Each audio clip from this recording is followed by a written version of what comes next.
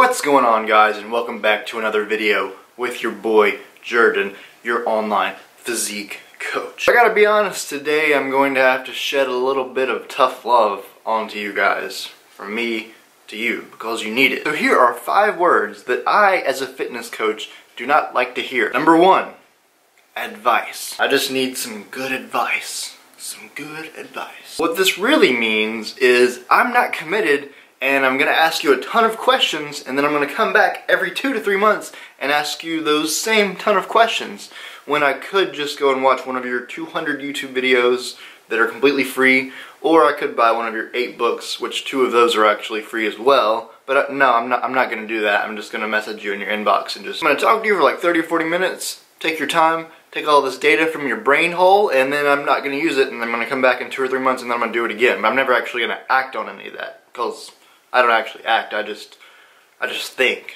I don't actually do. I just think. All right, you're the type of person that needs to actually get up off of your ass and actually do something. Not just, not just collect more data to get better. Like actually act on the data. Knowledge is only power when you use the knowledge. Like you use it. Number two, lazy. Yep.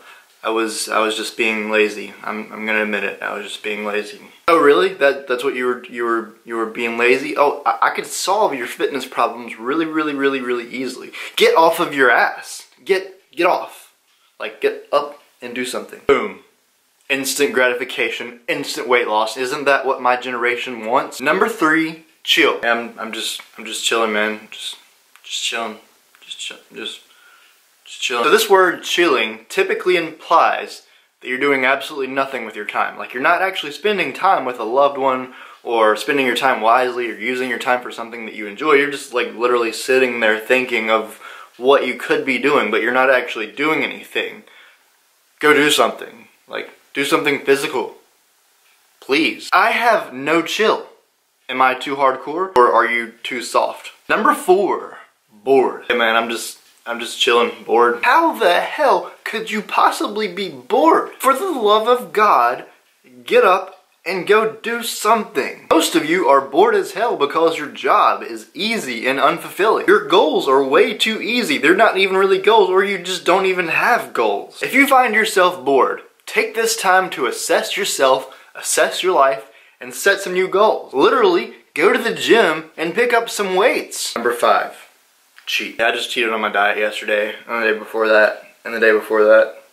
Really no big deal. I just, I can't get mad at myself because, yeah, then that that's really, you know, yeah, I just cheated. It happens. Happens to everybody all the time.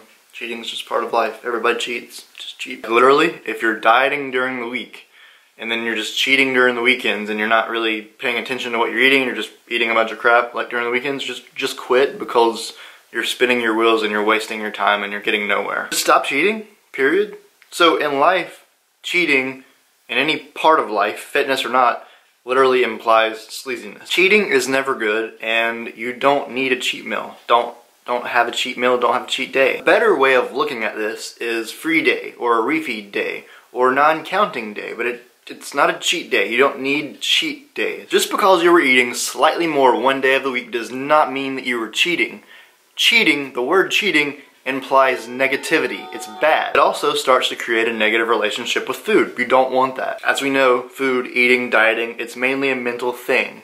And cheating is, is bad for that mental thing. But hey guys, I've got to be real with you. Some of you are just wasting your time and you're not going to do anything whatsoever until something major in your life happens to move you forward, like literally a life event smacks you in the face and says, hey Bob, you need to get up off of your ass and actually do something. Go after your fitness goals go after those goals. For me, it was getting jumped and humiliated in front of everyone and just getting the shit kicked out of me. After that, I was like, all right, it's, it's time to either just die or do something. Some of you are just lazy as hell and you're just sitting around collecting advice that you know that you're not going to use, but you want to at least feel like you're going to use it. It's like, it's like, oh, I'm going to get this advice, but I'm not actually going to use it, but I'm going to make myself feel good about just getting this advice for free from someone that has hundreds of videos and eight books that I could just get without having to spend this person's time that's really busy all day. My Friends, time is the only thing in life that we can't get back. Don't waste mine, and I won't waste yours. Hey guys, if you know anybody that needed to see this video, that needs to hear this video, feel free to please share the video. I want to make sure this video gets to the right people and actually smacks them in the face So they get up off of their asses and actually do something. I know I cussed a lot in this video, but the whole point was to get you going, to get you thinking, to get you realizing like, oh wow, maybe I am doing a little bit too much of this or too much of that. And I need to actually reassess and think about things and move forward. Like always, like if you enjoyed this video, comment if you have any questions or concerns or anything at all. I will help you guys absolutely any questions that you have. And subscribe if you're not already subscribed. All love. Seriously, I still love you guys. I know this was a little bit tough love on you guys, but I still love you guys. Alright guys, if you enjoyed this episode and you're ready to take action, you are ready to take action on your fitness goals, go ahead and click the link below and join our fitness group. So this is a group for people that already have a little bit of a basis of how to lift weights. You, you know the form, you know how to execute the lifts, you have a basic knowledge on diet and macronutrients. You are someone that is known to get shit done, and you are ready to get shit done right now. You are legitimately ready right now to change your life. This group is not for people that feel sorry for themselves. This group is not for people that sit around and waste time and procrastinate. This group is not for pessimistic people that they don't believe that they can accomplish things.